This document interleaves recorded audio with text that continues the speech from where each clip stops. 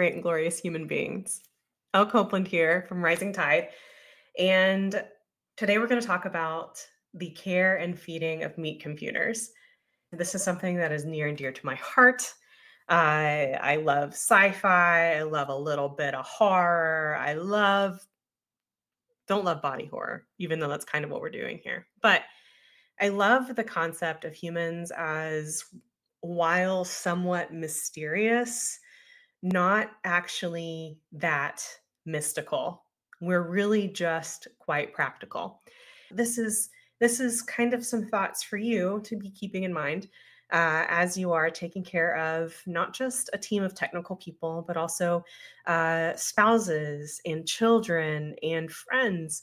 Um, if you consider that all humans in your life are actually just computers, um, you know, life actually may turn out to be a little bit better. And we'll talk a little bit more about why that is in a little bit. So, uh, the, the main things that we're going to talk about here are how humans are more like computers than you think, how you should standardly, standardly be taking care of yourself and the other humans in your lives. And then we're going to end with cutting edge technologies to help you stay on top of your game as a technical person who just so happens to have to deal with other people. I know it's a shame. It's really, really difficult, but we uh we do what we can, don't we? so we're gonna get started by having you think about three things. Um, how you would define them. The first item would be hard skills. And I would assume that uh, most of you have a good grasp on what hard skills are. Hard skills are um, being able to reformat a hard drive. Hard skills are being able to um, uh, take something apart and put it back together again. Hard skills are being able to code or develop a software program. Um, Hard skills are any list of things that allows you to be technically competent and to do your job well.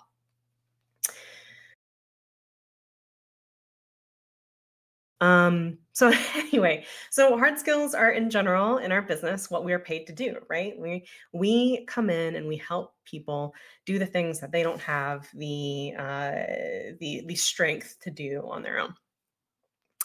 So, with that in mind, you probably know what my second question is going to be, or what the second thing that we want to define, and that is soft skills. So, if hard skills are all the technical, measurable, practical things uh, that we can complete, we can um, uh, that we get pulled in to do, what are soft skills? Um, I personally take great affront at the term soft skills because it almost makes it seem like uh, there's difficult skills and then there's easy skills, right? Like there's there's the the the cutting iron skills and then there's the ironing skills, like housekeeping versus the work. And um, uh, so we, we'll probably talk about this more later, but soft skills um, are often considered the skills that are required socially to engage with uh, a team or with other people. So, um, you know, communication, um, empathy, intuition, scheduling, you know, just kind of kind of things that kind of sit around the fringes of the hard technical work that we may be doing. Um, so, what would we define you're never going to guess what the third word is unless you watch watch my talk. Uh, how would you define a folder gluer packer? A folder gluer packer i'm not going to i'm not to belabor this one. Those are actually machines in one of the industries that i was in. I actually worked at a a carton folding plant a print plant where they printed large rolls of paper into soda cartons. They cut them and then they ran them through a folder gluer packer. Uh, which, yes, that's actually the real name. And so this machine has one responsibility. Well, I mean, technically it has three responsibilities and literally it's in the name. So you could probably guess what those responsibilities are. It, it takes a flat piece of cardboard that's already been printed and cut out that looks like a soda carton and it, it runs it through this machine, folds it, unfolds it, puts glue along the sides, refolds it, and then presses it and packs it into a box, at which point that box gets packed up into another box and gets shipped. So I guess technically it would be a folder gluer, or folder packer, but you know, we're just gonna we'll stick we'll stick with the uh, the basics here. So this is a folder gluer packer. I became pretty familiar with these when I was working as an intern during during school um, in Perry, Georgia. And I learned a lot about ink colors and about technology and how things really are held together with fine thread and not not the strong industrial backbone that you assume everything is. But it really it gave me a lot of insight and frankly respect to our working class men and women who who are, are are out there you know literally holding these machines together with years of, of knowledge and intuition the way that they could whisper to these machines was just just phenomenal.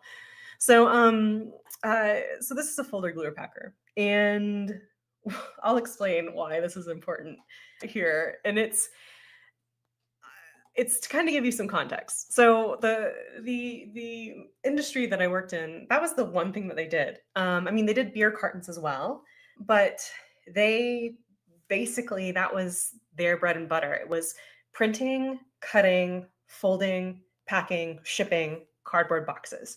So these machines were very, very, very important. And there was probably, I think, 27 at the time when I was on the floor there. Um, and so they were this this was literally the bread and butter to get this company uh, to their deliverables done. So so I want to kind of talk about and set the tone for the value of this technology um, uh, as we talk about humans as technology. So let's just thought dream some up stuff up right now. So how much would it cost to buy a banana? Um, regarding where you are and inflation, what could it be? It's a banana, ten dollars, right, Michael? Um, no, maybe maybe uh, thirty cents, maybe a little bit more. Um, how about a laptop? Just you know, standard middle of the road laptop, depending on where you are and its specs. Uh, you may have some some expectations there, but maybe fifteen hundred dollars. Um, a nice camera. What a what would a nice camera run you? Um, at the point in time that I made this, about three grand. Uh, a folder gluer packer. So what I just what I was just describing, that's a very important piece of machinery that this industry is going to have probably 30 of those machines on the floor at any given time. Um, those run about, you know, I guess it's gonna it's gonna range if you're getting the the Cadillac or the Toyota of them, but two hundred fifty thousand dollars is a fair number for a folder gluer packer. Um, what about a Millennium Falcon? Uh, you know, I know it's not real. I wish it was real. Um, and so, but some people on the internet have kind of done some guesses. So, you know, that may run anywhere from two to eighteen billion dollars. So just kind of a, a, scope and scale type thing on how much each of these items would cost, just to give you some context as we guess how much maybe a human costs. But I know it probably sounds crass, right? We don't want to. Uh, talking about how much a human costs is kind of weird, right? Like, we're not going to buy human. Those are the old days. We don't do that anymore. But would it surprise you if I told you that there's actually some industries that have a number on a human life? yeah, I'm I'm I'm not I'm not kidding with you. Um, there's actually a, a number of industries, and depending on which one you go with, it could be. I know you can't see it because of my face down here, but it could be anywhere between two and ten million dollars on what the value of the human life is, and this this value is not. Um, again, it's not crass, it's actually quite practical. So, for example, if someone wants to put in a stop sign or a roundabout or whatever change of flow, there's actually people that come in and do a survey and they say, okay, well, how many um, lives have been lost at this location? What's the projection for the cost of installing this item? And is it, uh, does the cost weigh out? Are we going, going to win by saving lives in this cost, or is this other cost of of installing this worth it? And that cost includes not just um, not like if you were to buy human, but it's it's literally things like their taxes and the network that they're a part of you know the people that they impact uh, a death in in a community is is meaningful and so there's actually a, t- a ton of different industries and departments that have different numbers. And, and so if you look at this, the Consumer Product Safety Commission, so people who are looking at recalls on devices or, or stuff like that, they use a figure of 8.7 million. The EPA uses 7.4 million. The Department of Transportation uses $9.6 million per human life to say uh, this is the number that we should be mindful of this is the risk that we're taking on to put it into a hard number. So let's just, I know it's the high end, but for math reasons, um, uh, let's say that each person in your life is worth $10 million, just to make it easy. So just consider that as I ask you this next question. If you count up the people in your life, those that you know intimately, personally, and professionally, what is your network's net worth? So if you consider that, um, you know, uh, there's me, there's my my sister, my brothers, and my parents. Um, there's the people that I work with. You know, like I could expand it to my friends. Um, I'm already way, way past 10, but 10 times 10 million is a hundred million dollars worth of people in, in my life. And that far surpasses uh, folder gluer packer. In fact, I have well over 30 people in my life, you know, on the theoretical industrial floor of Al Copeland's life. It's worth much more than um, the devices that are running that multi-million dollar industry that just makes soda carton boxes. So that then begs the question how do you take care of that number of people in your life? And what should an investment like that require from you with your resources, your time, your energy, your interest? Um, it's a curious question. So, if you have many more people in your life than I do. You've got a staff of 20. You are running not just the technology that you guys touch, not just the computers, not just the, the telephony, not just the networks, not just to the businesses that you're taking care of, but the people alone are worth the investment and the time of considering how do you take care of them and how do you improve their lives. So that's it for today. Our next session is going to be how exactly humans are like computers. Um, you know, my my hypothesis is if we practice taking care of people with the same curiosity that we do technology, with the same energy and excitement we do when we have an unboxing video, we hold that same excitement for other people, then what?